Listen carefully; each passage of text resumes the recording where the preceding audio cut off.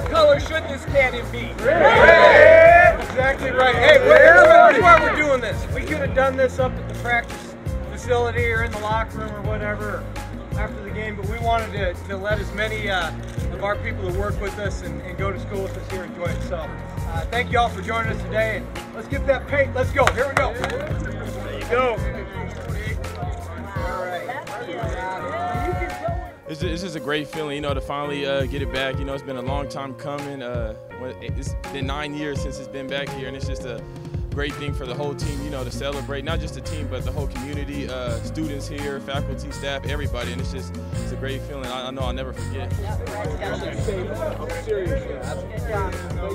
It's, it's big. I mean, you know, the city, the city's been a long time waiting for this cannon to come back, and to be a team that did it, it it's huge. Um, you know, getting it on the road is even better, you know, but bringing it back here and seeing the, seeing the response that the community is giving to it, you know, got a big turnout here. A lot of people are excited about seeing the cannon. Some people seeing it for the first time in person, so it's, it's a really big deal for us.